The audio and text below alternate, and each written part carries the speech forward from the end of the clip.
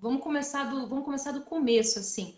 Eu queria que você falasse, contasse para gente um pouco sobre a sua infância, é, o que que, o que que, quais eram as coisas que te interessavam quando você era criança, se você escutava música e, e quando você escutava, se você já era daquele que prestava atenção na melodia, na composição, prestava atenção na letra, como que era a sua relação com a música e também com poesia, escrita, tal, na, na sua infância, por favor.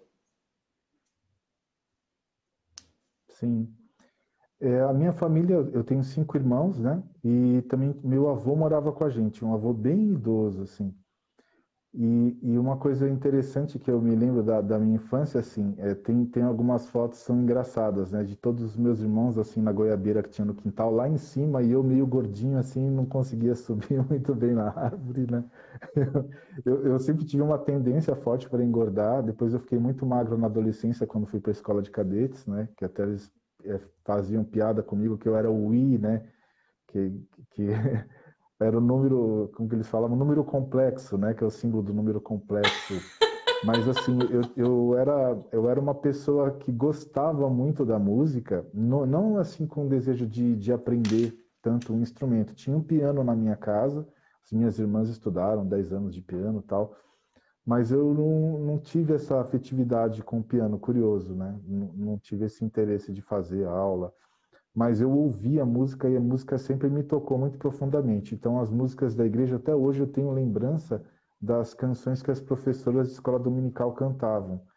E eu comecei a levar também muito a sério isso. A Adriane ama criança, então na igreja, quando a gente fazia música para criança, eu dava o máximo que eu tinha, porque eu penso que nessa idade você apresenta já muita coisa para a criança, sabe?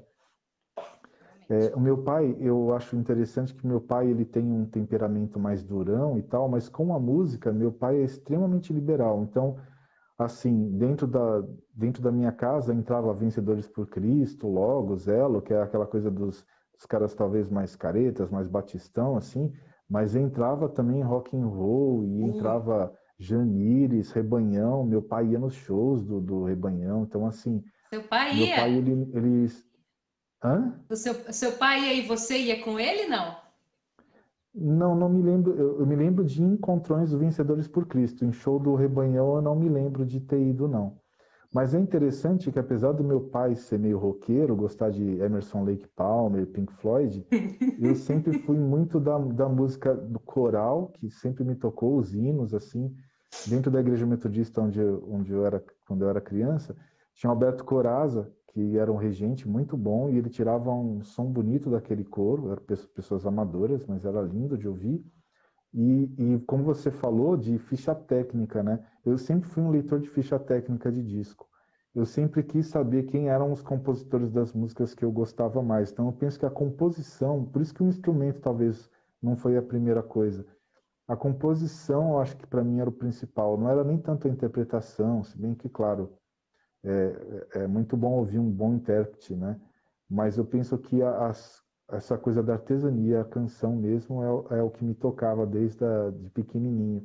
E eu sempre gostei muito de ler. Então você falou de poesia, mas eu penso que a poesia que entrou na minha vida primeiro foi a poesia bíblica, porque eu me lembro que os livros que eu gostava mais de ler quando criança é os livros dos Salmos e o livro de Isaías, do profeta Isaías. Eu lembro que a impress minha impressão do livro de Isaías foi muito forte, porque o livro de Isaías é extremamente poético. Se você for ver as imagens que coloca sobre Jesus, do, do Messias, né, é, é, é, tudo muito, muito bonito, muito rico mesmo.